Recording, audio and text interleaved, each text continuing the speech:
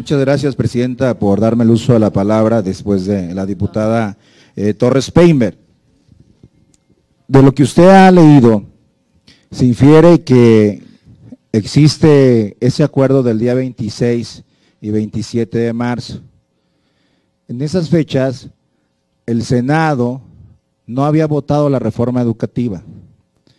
Por lo tanto, no conocíamos los términos en que el Senado de la República la iba a aprobar o no aprobar o devolver.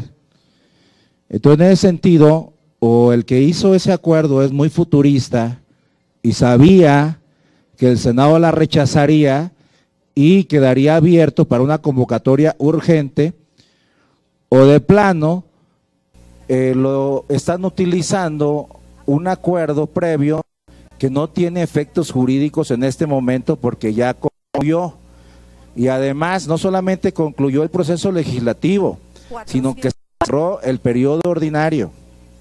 Cuando se habla de, le pedimos cuál es el carácter urgente, es cuál es la urgencia técnicamente hablando para brincarse todos los procedimientos que establece eh, nuestra ley y nuestro reglamento y por supuesto cuál es la urgencia, que no nos lo han dicho, para no convocar a los integrantes de las mesas directivas de ambas comisiones, sabiendo, aún sabiendo que pudiera no acudir o no aprobar dicha convocatoria.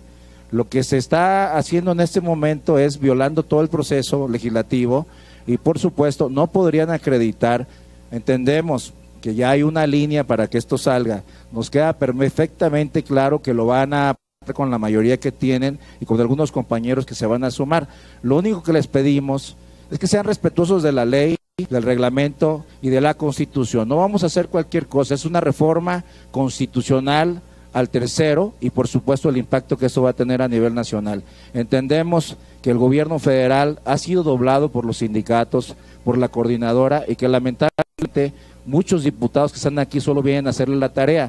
No queremos ser parte de esa tarea. Por lo tanto, lo que le pedimos es que nos fundamente perfectamente cuál es la urgencia y por qué violentar el procedimiento para citar a esta reunión de Comisiones Unidas.